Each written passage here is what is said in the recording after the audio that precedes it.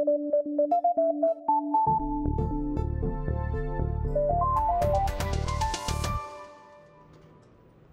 piracy on the internet really destroying the entertainment industry? I'm Peter Lattman, reporting for Business Day Live. I'll be speaking with media reporter Amy Chozick about the battle over anti-piracy legislation, but first, a look at today's headlines.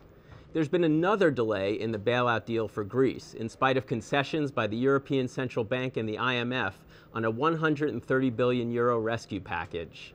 Smartphone maker Nokia says it will cut 4,000 jobs in Finland, Hungary, and Mexico. It said that most of that production will move to China and South Korea. And Sprint reported a fourth quarter loss, continuing almost five straight years in the red.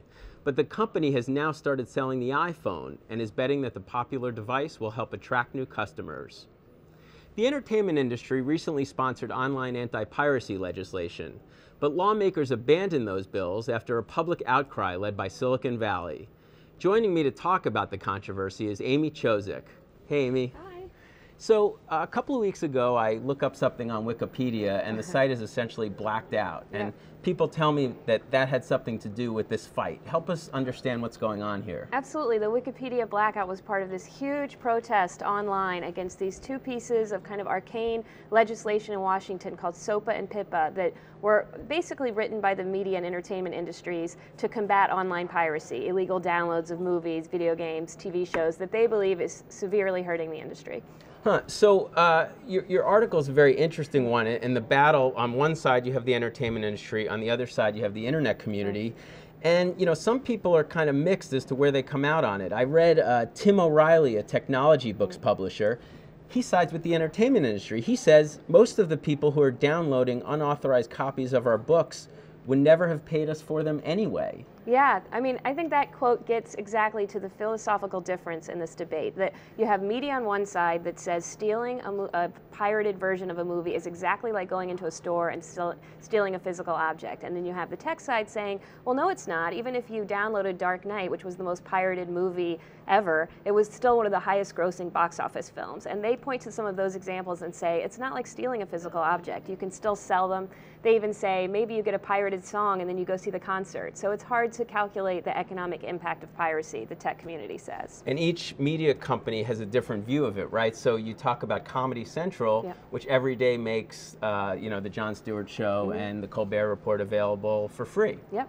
Well, that's an interesting example. One of the heads of, of, of digital initiatives at Viacom, you know, showed the company how much South Park was being pirated, and he said, "We've got to make this available, you know, on our own terms. You go to our website and see it. We can sell ads." So they do. They make Colbert Report, they make Daily Show, they make South Park. They make those available, but you have to go to their websites, and that has drastically cut down on piracy. At the same time, those are not shows that you're going to go buy like the 10th season of The Daily Show on DVD. Those shows have a very short shelf life. You want to see them, you know, they're newsy. So it's a little bit different than, say, Big Bang Theory, which Warner Brothers sold for a million dollars an Right. episode in syndication. You want to protect those properties. Right. You have this great anecdote in your article. Uh, Fred Wilson, a noted venture capitalist, Mm-hmm. wanted to watch the Knicks game the other night on Time Warner Cable.